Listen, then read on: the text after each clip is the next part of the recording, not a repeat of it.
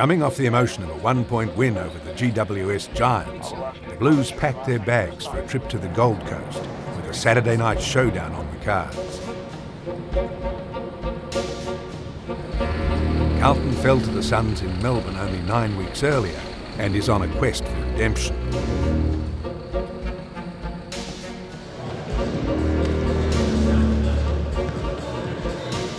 kept it to 70 points last week.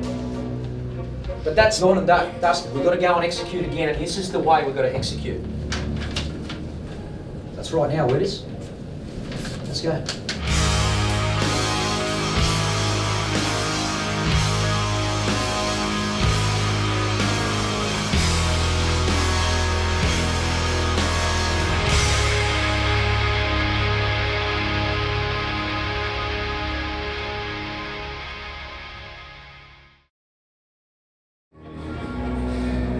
Big game between the Suns and the Blues. The ground's in magnificent condition, pristine situation conditions wise as well. Not hot, not humid, but just a nice balmy evening here for football. And we're about to get underway. Kreuzer to do battle with Witts. It favours Kreuzer. The umpire doesn't recall it. Here's a chance at ground level for the Gold Coast Suns. Thomas will come around and does and goals. Blues have got a couple. Blues come out firing and dominate the first half. Liam Jones proves unbeatable in his rebirth as a defender, blanketing dangerous forward Tom Lynch. Uh, when he has that opportunity, how well has Liam Jones done? Ed Curnow goes head to head with Suns superstar Gary Ablett, stifling his impact on the match. Ablett, who's had a fair beating tonight, takes a bit of a rest. As the game wears on, the Suns fight back, taking the lead in the fourth quarter. Martin has put the Suns in front for the first time. But Carlton isn't done yet. Over the top to Curnow, back inside to Murphy, continues to run, got rid of the football at just the right time. Cripps to Gibbs, a fumble, a recover, a stop, a shimmy, a shot at goal. It is an absolute pearler. Blues back in front. Boosted by a colossal performance from Bryce Gibbs, the Blues finish strongly running out 10 point winners. Will record their fifth win for the season. And if you're a Blues fan, you can celebrate tonight.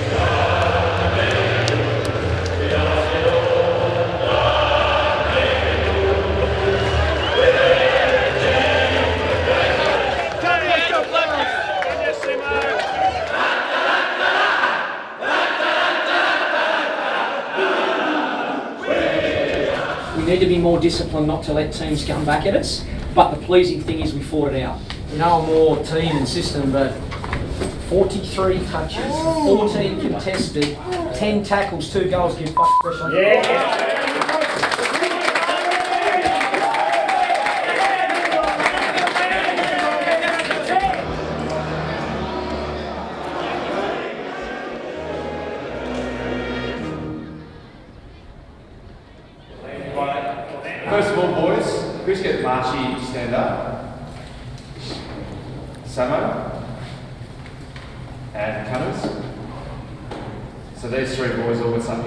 Year. Rising Stars. So I've got a fourth, um, fourth of the footy club, uh, young Jack Silvagni. Right?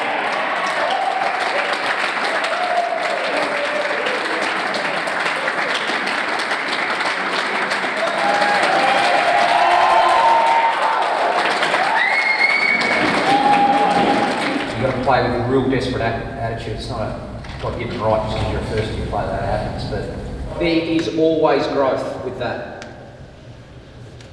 And it means the expectations we get better every week because of that. Good little indication.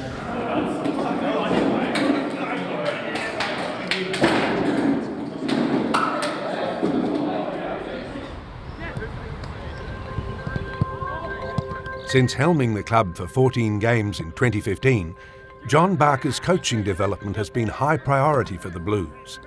In addition to his regular duties, Barker has taken an opportunity to cross codes, sitting in with coaches of the national soccer team.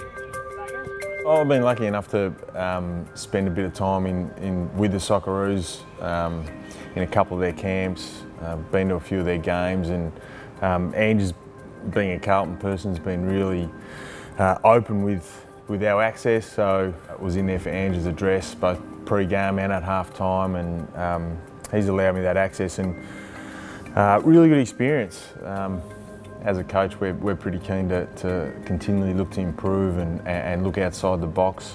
He's obviously at the forefront from a cultural point of view with his group and um, very similar to us in terms of the makeup of the Socceroos. Um, young group, uh, even the other night against Brazil, he was, he was keen to, uh, in the second half, blood a few of his younger players because he knows he's going to need to rely on them as the years go on in, in big competitions. So he wanted to keep bringing those guys in, giving them tastes of, of uh, you know big time football, and um, probably doesn't get much bigger than MCG against Brazil. Uh, mechanics of that, and, and, for me to be able to be front seat to all of that was a great experience. One of the great things about Bolts is he's keen for us to be innovative, being able to bring back ideas from, from other, not just the Socceroos, but from other sports and, and um, from other experiences as a coach is a, is a good thing about our club and we've got a, a, group that's keen to learn and keen to grow so great experience and um, really thankful to Ange for that. Round 14 pits Carlton against its season opening opposition, Richmond. After falling to the Tigers by 43 points in March, the Blues are hoping to carry their momentum to the MCG. Big crowd in, and we're told plenty still trying to get in. It is Richmond and Carlton, both sides having excellent seasons.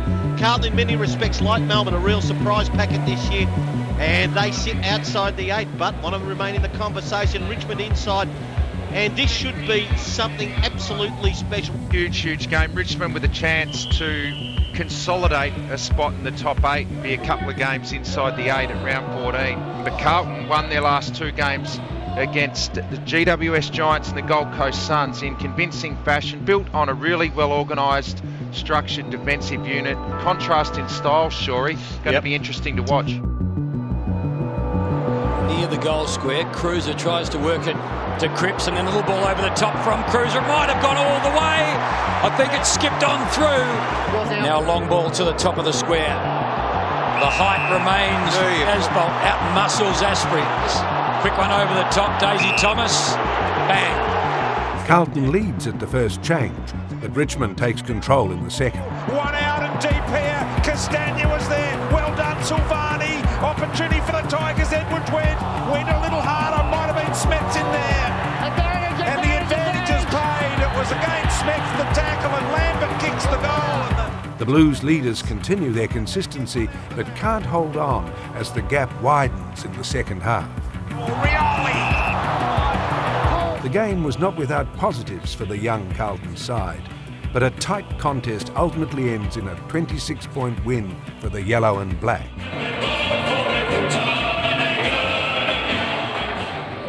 Won five so far this year, seven last year. They'd love to get up closer to that you know, nine or ten wins. It's not everything about wins really with Carlton this year, mm. but they're getting so much from their top end talent. They wouldn't want to fall away like they did last year.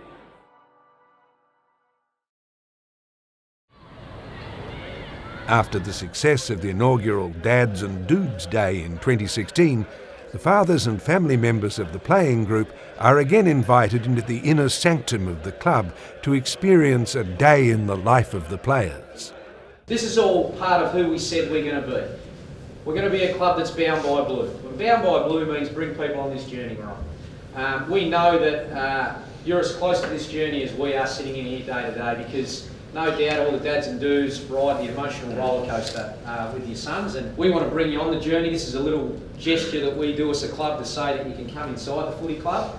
One to say thank you, but what I will say, and I, I know that this is uh, a reflection of upbringing.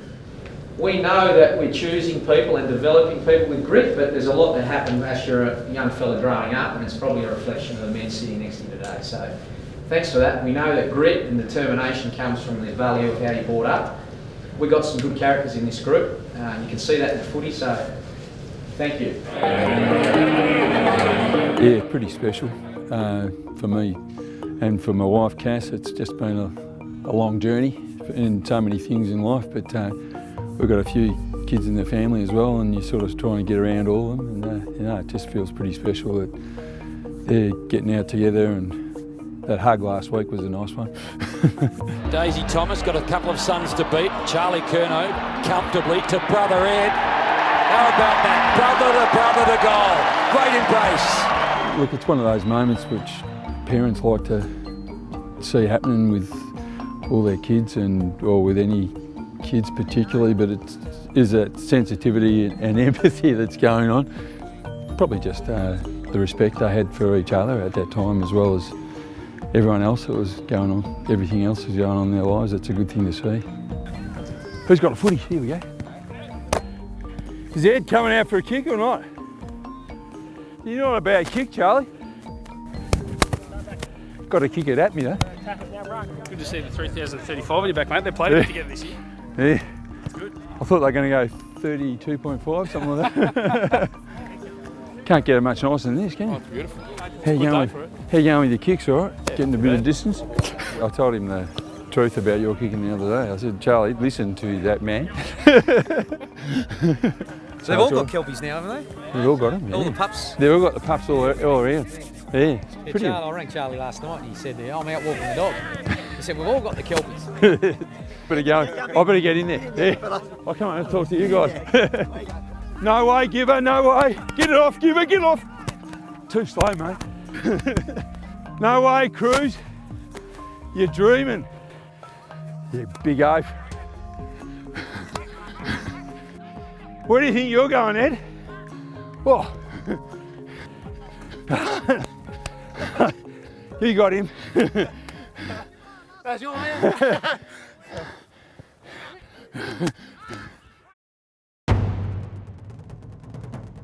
As the winter sun shines on the home of footy, the Blues prepare to take on the second placed Adelaide Crows.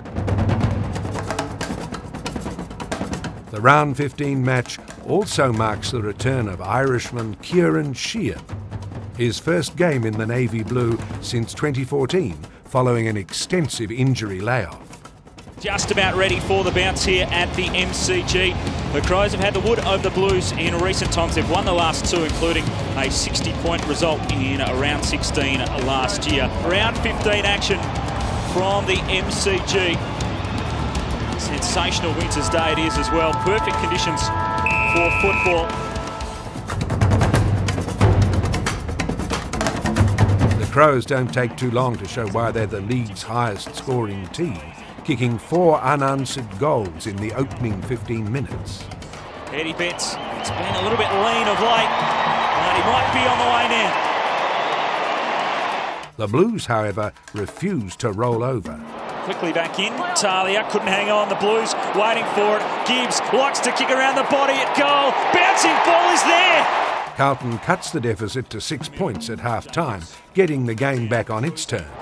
Continue to go. Slick handball by Cripps. Got it to Kerridge with a long kick. Saw the unguarded goal square. Plenty of purchase on it. Look at that carry all the way from Sam Kerridge. After seesawing third and fourth quarters, the Blues take the lead for the first time all day. Curnow made the contest, knocked it away from Brown. Thomas arriving quickly on the scene, oh. sending it long towards goal. The Blues are in front. Look at him go. Despite their efforts, the Crows hold firm grinding out a two-goal win. The Blues gave a mighty challenge. Adelaide copped a huge scare, but the Crows prevail on the MCG. I was excited to get out there. Um, as I said, it's been a long time coming. Um, worked pretty hard with all the, the, coaching staff and with the physio staff and high performance staff and got my body to where it needed to be and um, just very grateful to get the opportunity to go out and play with the lads. So yeah, I had some difficult times. Um, look, I always say I'm very lucky to have a good support network around me. Um, it's like a second home to me out here at the footy club, and uh, I've been very fortunate with the people I've met, and they've got me through some very difficult times. Um, always wanted to be back playing AFL. That was always the goal. So um, yeah, I had my mind on that, and lucky enough got the opportunity today.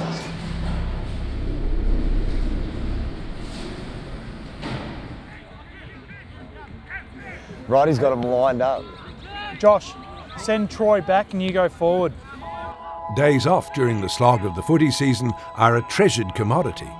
But this rest day sees Ed Curnow and Matthew Wright back on the footy field coaching one of AFL Victoria's diversity squads. The 10 week program has culminated in a carnival competition day with the Carlton pair lending their expertise to the next generation. I reckon seriously, if you're playing midfield, we need to have a stronger focus. That court, like we did that well that quarter, but they got a few easy goals because they were handballing over the top and getting them in the goal square because they had more numbers. The role evolved to be uh, basically ambassador for the diversity Northern Corridor footy team, and and then. Uh, I kind of found out that it was a 10 week program. We get the opportunity to coach a young group of uh, talented footy players um, leading into this carnival today. So thought Matty Wright um, would love to get involved as well, and I know he's a bit of a gun uh, working with, with young kids and, and youth. So it's kind of been good fun. We've been able to share responsibilities and coaching duties uh, for the last 10, 11 weeks. They tied it in pretty well. Ed's looking after the midfielders, I'm looking after the forwards. So um, all the challenges that come along with coaching, it's um, it's been good. It's been a good learning experience for me, but um, we've got to know a group of young men, and you know they're putting their head over the footy and having a good time. How you feeling, man? I feel fine. Good start there. How you going? Oh, Oh, I thought he was playing a free. Ball it up, Yeah, yeah. surely. No, he did. Uh, it's not just about the football, it's more the challenge of getting guys from different backgrounds come together and showcase their talent and getting to see them grow and um, and develop across that 10 week period is really rewarding. So, um, yes, it's footy, but it's, it's a fair release from the, um, yeah, the strenuous kind of critical footy that we're used to during the week. can consume you at times spending in the AFL environment. So to get out of there and um, you know still be involved in footy at, at some level, it's good. So um, you know you, you come out here and you just try and transfer some of the stuff you're getting taught, but it's a bit more relaxed out here and. Yeah, really enjoyed the challenge. Hey, great smother. It was a really good smother before. And clearing it, saved a goal.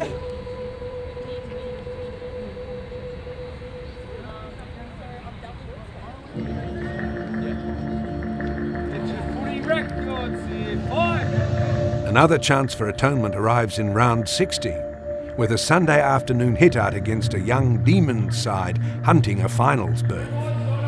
Carlton and Melbourne at the G earlier in the season. A pretty tight, somewhat spiteful game saw Melbourne get over the line by 13 points.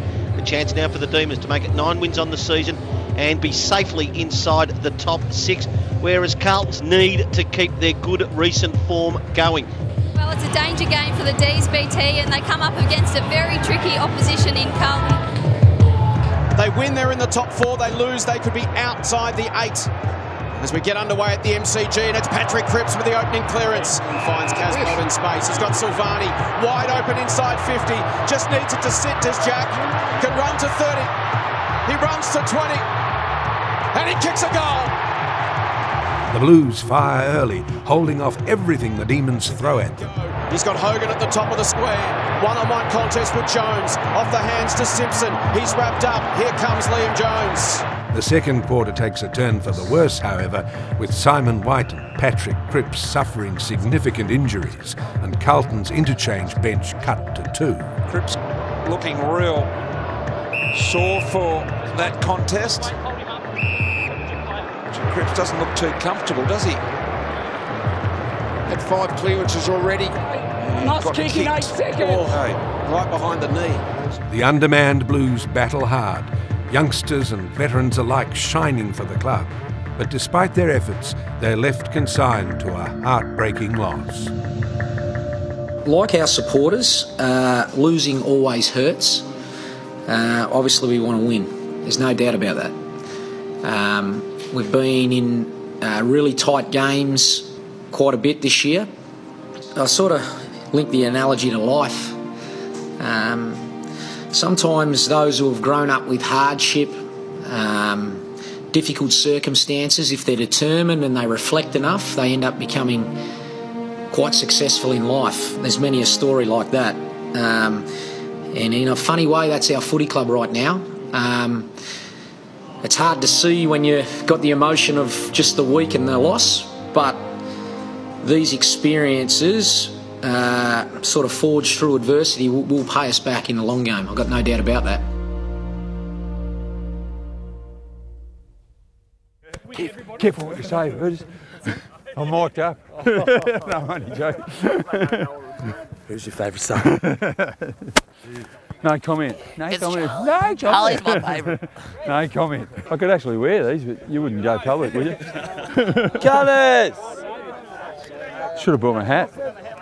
Careful what you say, Bolts. I'm wired up, mate.